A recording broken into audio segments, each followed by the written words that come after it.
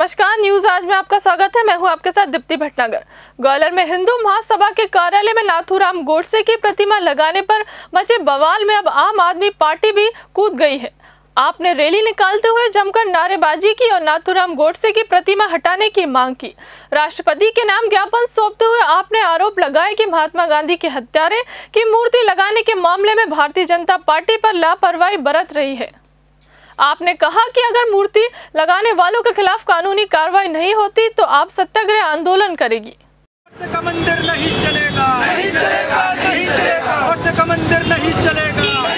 तुराम गोडसे का मंदिर दौलतगंज में अपने कार्यालय में स्थापित कर लिया गया है। उनकी रोज पूजा अर्चना की जा रही है। यह महात्मा गांधी जी का अपमान है। आज़ादी के लिए बलिदान देने वाले सभी क्रांतिकारियों का अपमान है। यह अपमान कतई बर्दाश्त नहीं किया जाएगा। हम मांग कर रहे हैं कि इस मंदिर को तत्काल हटाया जाए। अन्यथा आम आदमी पार्टी सत्याग्रह आंदोलन चलाएगी और ज़रूरत पड़ेगी तो आमरण अनशन भी करेगी। ग्वालियर से भूपेंद्र साहू की रिपोर्ट, न्यूज़ आज। इसी के साथ बने रहिए मेरे साथ। देखते रहिए न्यूज़ आज।